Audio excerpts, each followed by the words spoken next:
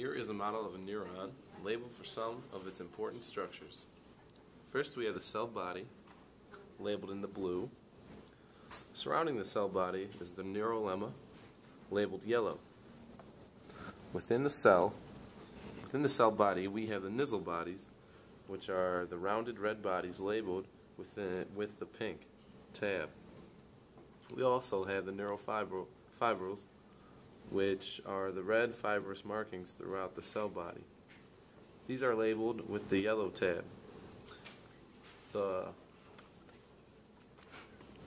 the green branches are the dendrites with the yellow tab.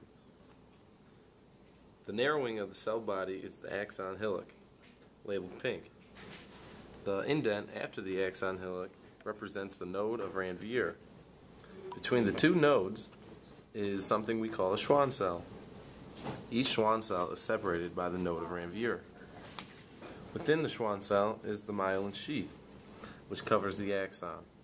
And finally, we have the axon terminal labeled in blue.